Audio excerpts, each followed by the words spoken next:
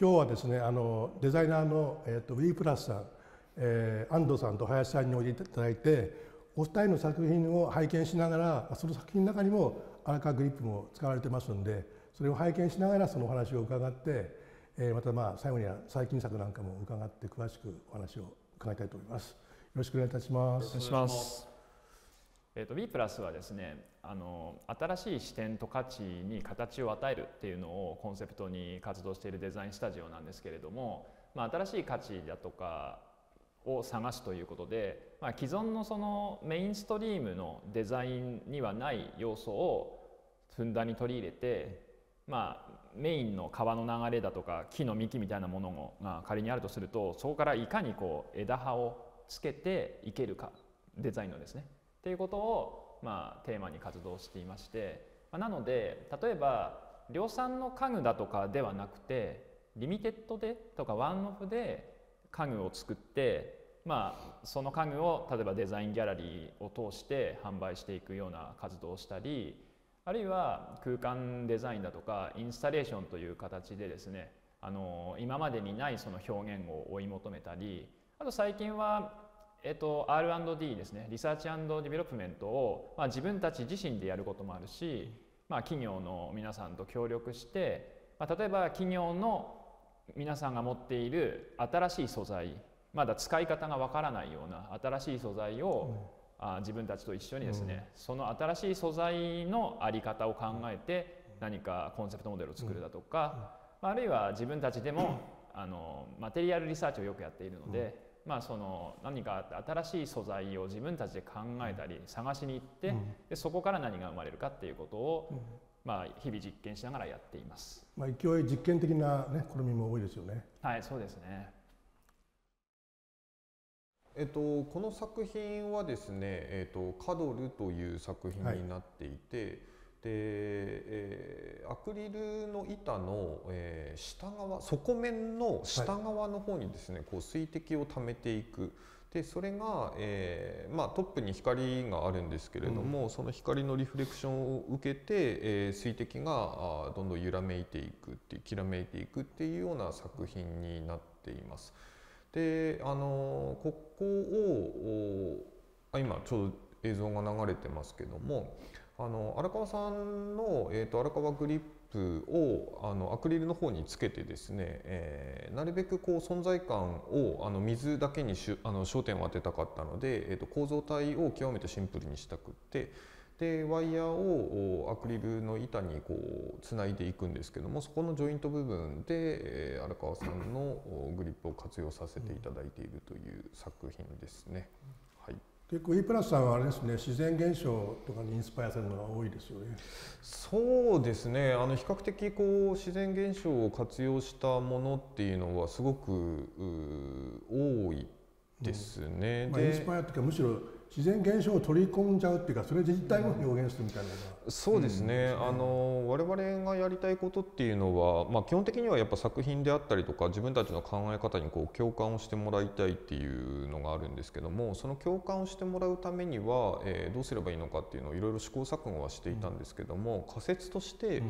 えーと、ある種こう原体験を共有する、うん、っていうのがあの大きいような気がするんですね。で例えば、えーと、何でしょうね。あの朝日を眺めたりとか、うん、こう水面のきらめきを眺めたりとかっていうのって、多分あの世界中言語が違えど、みんな美しいと思うはずで。でそれは昔からどんどん変わあの脈々とこう続いていってる、ある種こう DNA に刻まれている本能みたいなものなのかもしれないんですけども、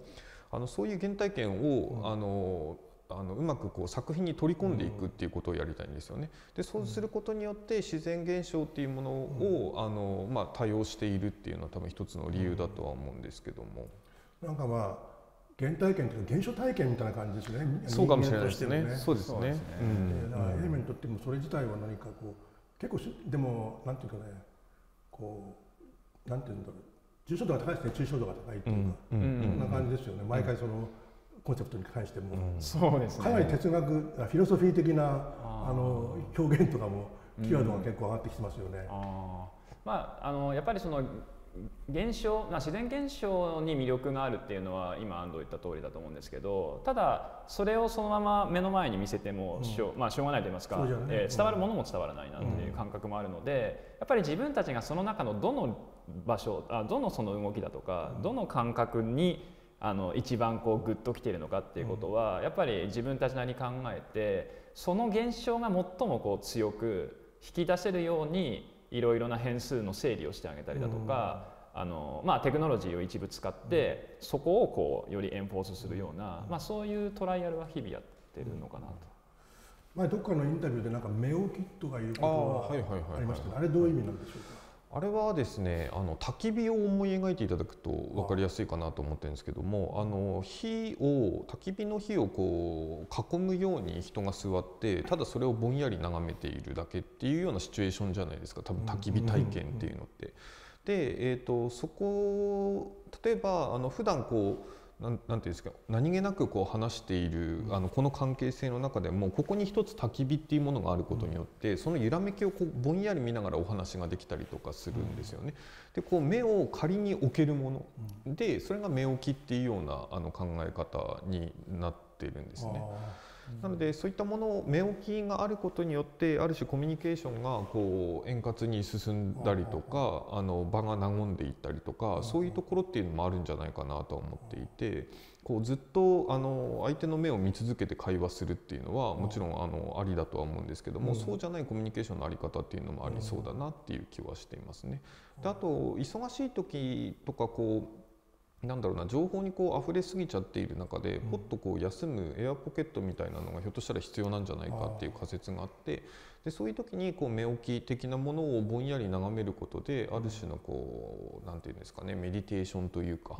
あのそういった効果があるんじゃないかなっていうふうには思っていてあの結構目置きっていう言葉を対応したりですね。でそうなってくると自然現象っていうのがすごく相性が良かったりするんですよね。うん目置きって別の単語で言ったら何ていう言葉なんでしょうね。つまり定義するとしたらどういうまあ言ったことをもうちょっとあでもやっぱり、環境の媒介変数みたいなことですかね。うんいやたなんか多分自分たちの感覚がよりフラットになるとかの方が近いのかな。ぼんやりそうぼんやりするとか。ぼんやり眺める,、ぼんやり眺めるとか、うん、フラットに眺めるとか、うん、まあそれがさっきのメディテーションとか、あるいはコミュニケーションの円滑化とか、そういうことにつながっていくんだと思うんですよね。気持ちがこう落ち着いた状態っていうか。コミュニケーションのまあ取る時の何かそのなんだろ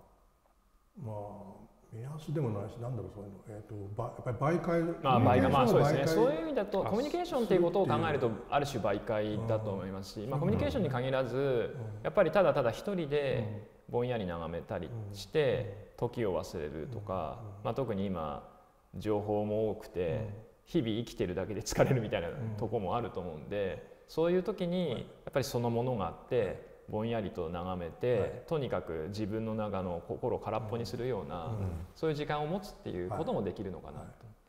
じゃあそういうキーワードをあの、頭に入れながら作品をちょっとまたお願いします。はい、次の作品はですねあの資生堂の本社で本社のウィンドウディスプレイなんですけれども、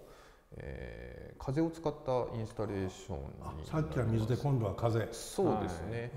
で、えー、これはあのまあ、和紙をですね、えー、風下にサーキュレーターが設置してあってそのサーキュレーターがあの稼働あの動くことによって風が巻き上がって、その上の和紙が、うん、えー、真上にこうのあの飛んでいくっていうような考え方なんですけど。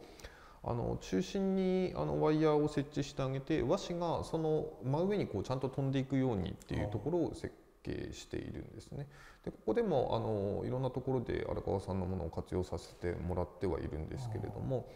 あのまさにこれも目置き的な考え方であったりとか、うん、まあ、もちろん自然現象的な考え方っていうのは対応しているっていうところですよね。うん、であのなんだろう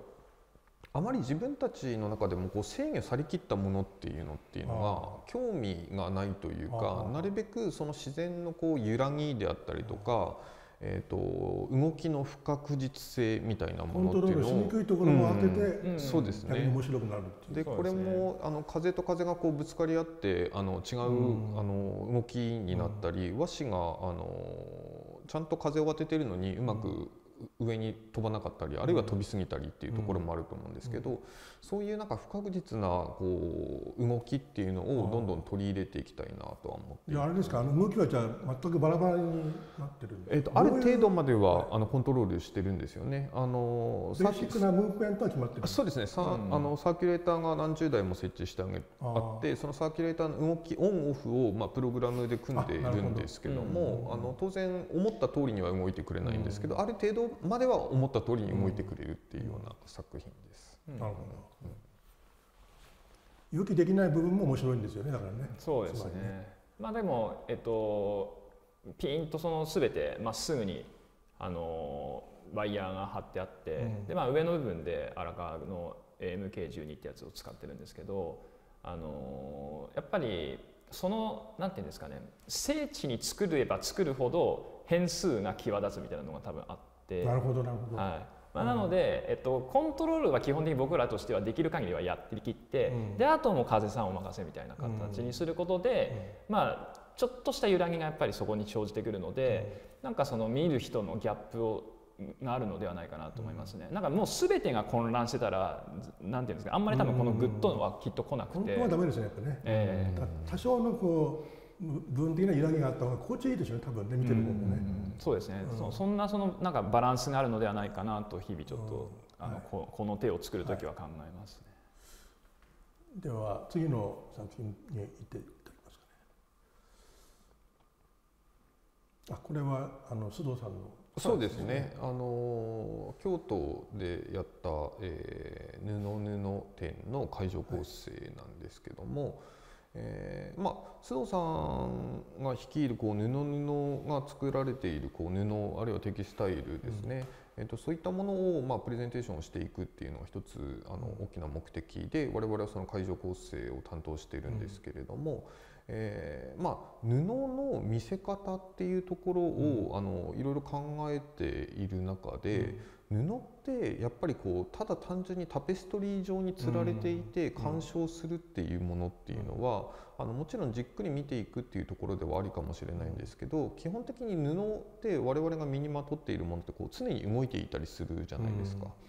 でそういう動きみたいなのを何か抽象的に伝えることができたらいいかなとは思っていてで大きなキューブにこう布をピーンと貼ってあげて、えー、とそれがこうくるくるくるくる回っている。でこれはあの風を使ったりモーターを使ったり、まあ、いろんな動かし方をランダムにこう入れていくことで、えーその動きのスピードもですねこう一定じゃなくってこうなんか布の森に包まれているみたいな感覚にしたいなっていうふうには思っていてでここでも荒川さんのものを活用さこれ回せてもらって転プラス風もあるんですね。空気の動きも使ってるんですよ。ね、はい、あそうですね。一部はい、うん。そういう動きもあったりやっぱり布って言うとやっぱりねあの二次元の平面っていうイメージがあるけどね実際はそんな風に使いませんね、うん。必ずしもうだからやっぱり 3D でありなおかつ、まあ、いつもゆむ何、えー動きがあるみたいなそうですね。ことですよね。そうですねうん。まあ、回転することでそのやっぱり影の落ち方とか光の当たり方っていうのも変わるので、うん。結構やっぱりその布の布ってあのテキスタイルってすごい面白いんじゃないですか、なんかただのテキスタイルではなくていろいろな編み方されていたりだとか、ね。素材違っていたりだとか、なんで案外その平面化して立体化して回転させることで結構その表情の豊かさみたいなのがうん。逆に際立って表現することができたかなとは思います、まあ、本来ある意味布って不定形でもありますよね、うん。うん。そうですね、あじゃあ今度あの今回展示されている宮野の作品にちょっとお話をお願いします。えっとまあ、冒頭にもお伝えしたように、えっと、マテリアルのリサーチを僕たち最近よくやっていて中でもあの海にまつわるプロジェクトっていうのを結構数年前から取り組んでいるんですけれどその中であの海苔に着目したんですよね。海洋資源海洋資源としての,、はいあのはい食べる方の海苔ですね。はいでなんで海苔かっていうと実はヨーロッパだとかではもう先行してかなり海藻のプロジェクトは進んでいる印象があってあのまあいろいろな例えばレザーにしたりだとかあの屋根の素材建材にしたりだとかやってるんですけれどもああのよくよく自分たちの足元を見てみると日本の方が海に囲まれていて、まあ、いわゆる排他的経済水域って呼ばれるものに関して言うと、日本の国土すごく小さいけれど、世界で6番目に海の領域としては使っていい国、そうです。すごく海洋資源に恵まれてる国なんですよね。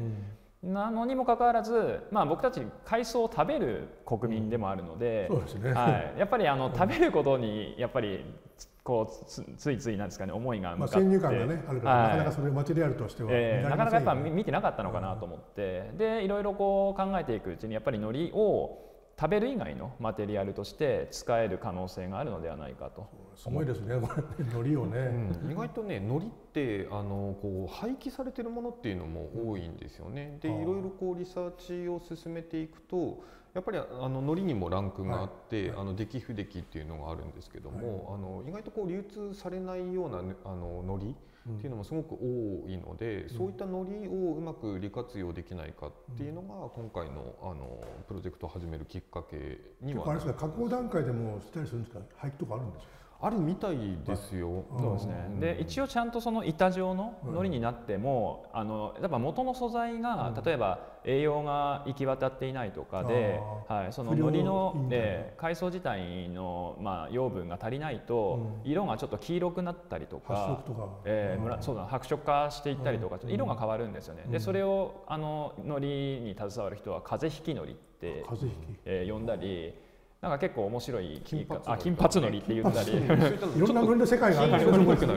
いろんな面白い言葉もあるんですけどまあやっぱり彼らにとってはそれは商品にはならないので、あのもうはいまあそれこそ燃やさざるを得なかったり。そうなんですね、えー、で市場に流通しないっていうことを、あのやっぱり関係者の方と話してると分かってきたので、まあ私たちあえてじゃあそれをくださいということでちょっといただいてですね今回あの、まあ、その廃棄されるはずだったのりに新しい命を吹き込むということで、建材建材とかそのマテリアルあのファニチャーとかのマテリアルになり得る可能性をちょっと今回の展示で提案していますね。結構面白いパターンなんですよね。あのインスタレーションみたいなやつもあれば。いろんな。そうですね。あのいろんな使い方があって、まあ、インスタレーションとしてもありますしあるいは照明というプロダクトに落とし込んだっていうこともあります、いろんなあのバリエーションは切れるなっていうふうには当初から思っていて、うん、っていうのもあの海苔食べる海苔の、えー、起源っていうのが、まあ、諸説あるんですけども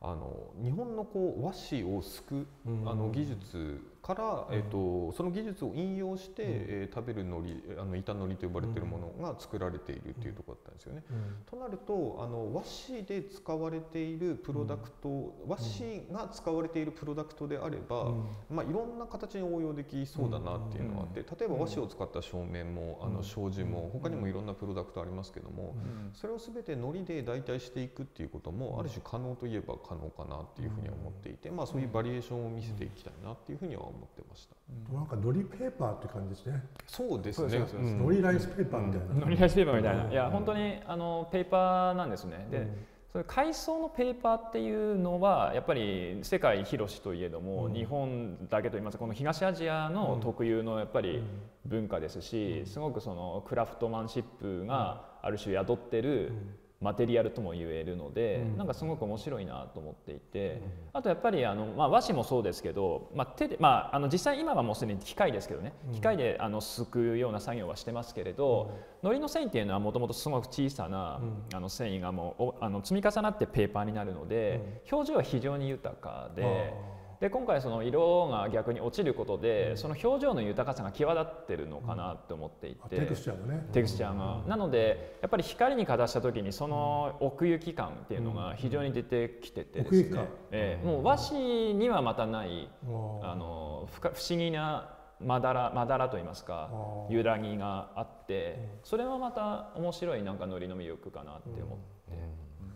結構なんかアクリルとか貼ってるんでしたっけ？なんかこうアクリル板とか。あの正面芯材にあのアクリルを貼ってるものもありますし、うん。あるいはそのままっていうのもありますしいろんなスタディはしていますね。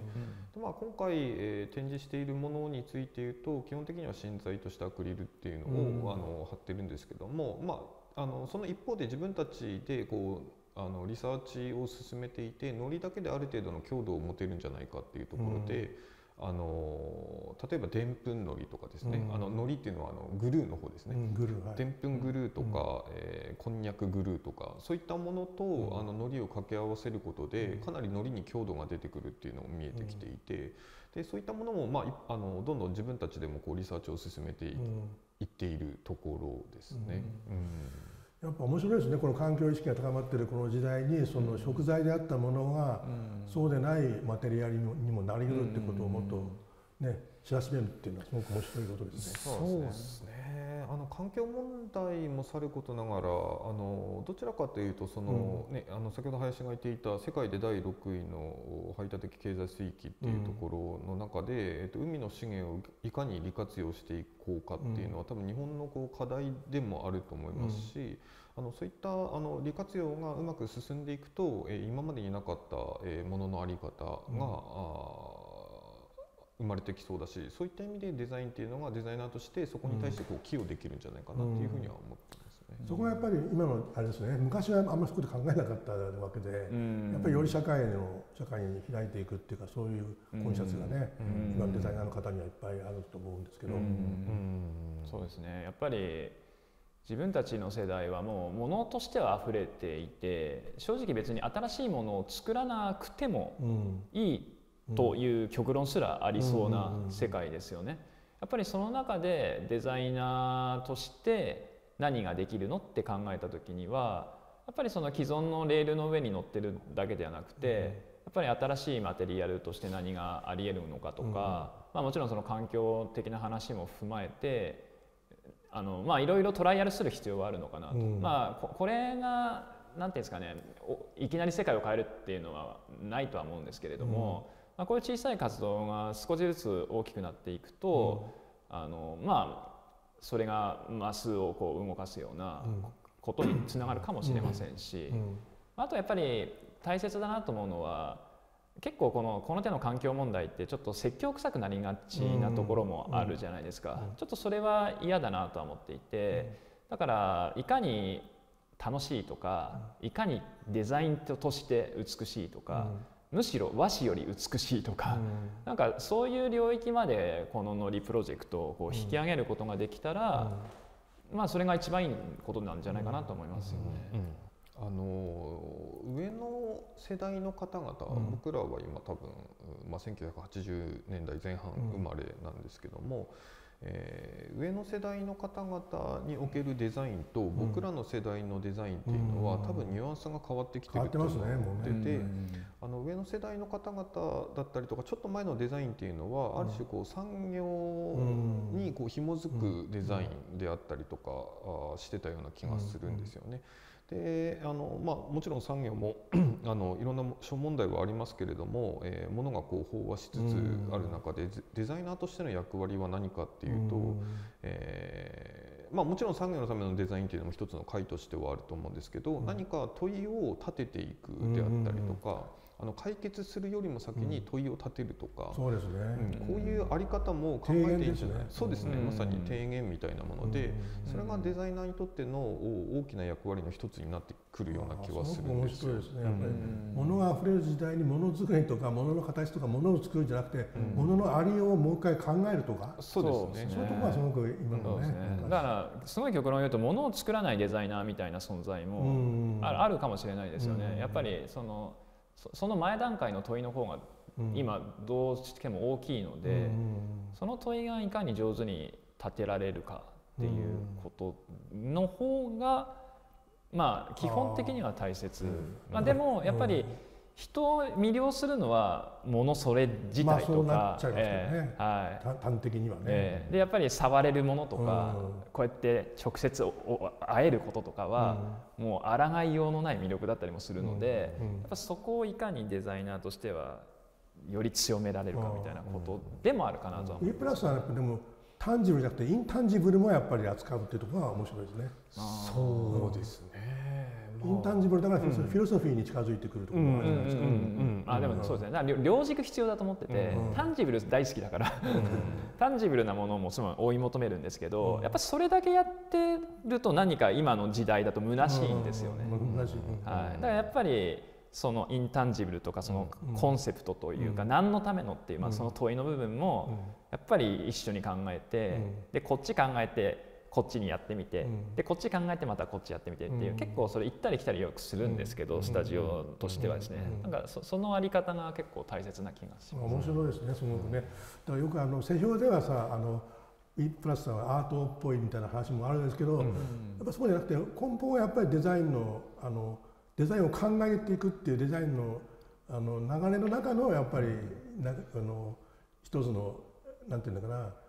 ステップっていうか足足を置いてるっていうかそこにね、うん。あの軸足は、あの間違いなくこうデザインに置いていて、で、あのやっぱりデザインってこう社会と密接につながっているものだと思うんですよね。でその中で自分たちが、まああのある種こう先ほどおっしゃっていた提言だったりとか、まあ、問いを立てていくだったりとか、そういったことをデザインの中ですることで、より社会にこうつながっていけるんじゃないかなっていう気はしていますね。なのであのものとしてアートっぽいねっていうご意見もよくいただいてそれはそれですごく理解はするんですけども、あの確実に自分たちとは社会と密接につながっていくデザインっていう文脈の中でそれをどう更新していけばいいのかっていうところを強く考えていますね。